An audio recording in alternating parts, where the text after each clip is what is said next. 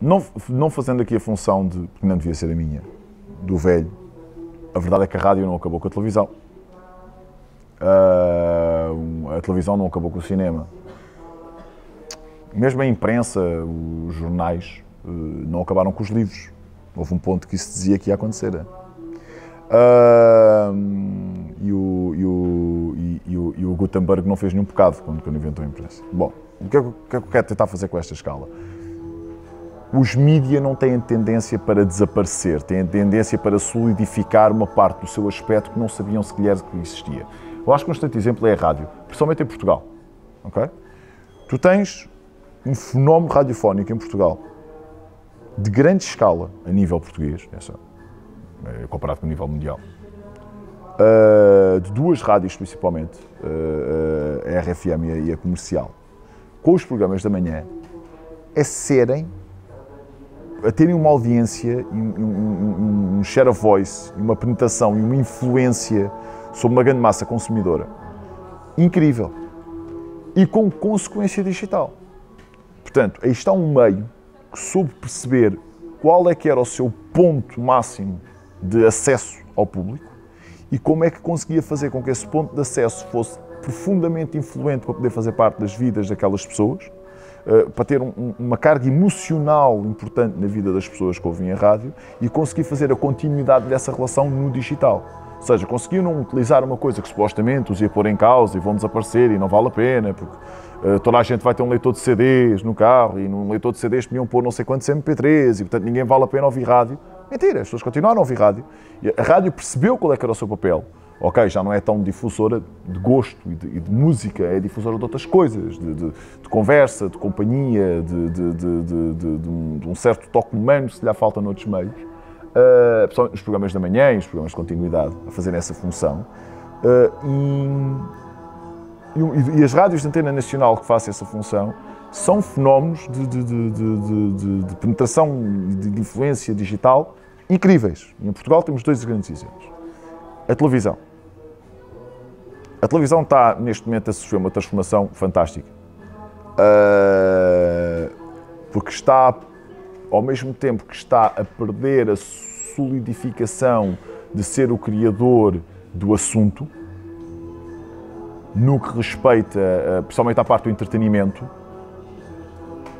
não deixa de ser o solidificante e o distribuidor do assunto que muitas vezes é pegado das próprias redes sociais e o transforma em algo que pode ir para uma camada superior uh, ainda que não menos profunda, mas mais abrangente em termos de audiência. Ou seja, temos um fenómeno muito engraçado que está a acontecer agora, o Conan Osiris.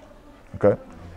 Conan Osiris já é tema uh, da malta um bocadinho mais melómena e atenta à música, mais uma vez aproveitando o cenário em que estamos a fazer isto. Uh, eu lembro que o meu primeiro post sobre o Conan Osiris, e by the way, a opinião era eu não percebo este gajo, uh, deve para um ano e meio, coisa qualquer. Uh, pessoal que gostava de música um bocadinho mais alternativa, independente e não sei o quê, já tínhamos levado com o fenómeno, com o Eu Adoro Bolos, que é o primeiro disco, aliás. Uh, e, portanto, esta celeuma toda para nós já tinha existido. Esta discussão já acabou. Tipo, gosto não se gosta, o tipo é importante, gera uma conversa, uh, mais vale ele existir do que não existir. Ou seja, as conclusões que Portugal vai chegar agora, uma parte pequena já tinha chegado antes. Uh, mas repara, foi preciso ali para uma coisa chamada o Festival da Canção, ok?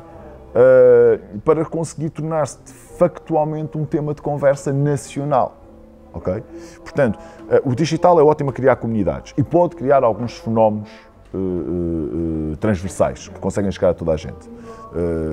os Ice Bucket Challenges, as coisas virais e coisas deste género. Mas a televisão ainda é o momento de, de, de, de glorificação e, e de solidificação de um fenómeno para se tornar como um, tema de conversa nacional ou transnacional. Okay? Ainda é, ainda é.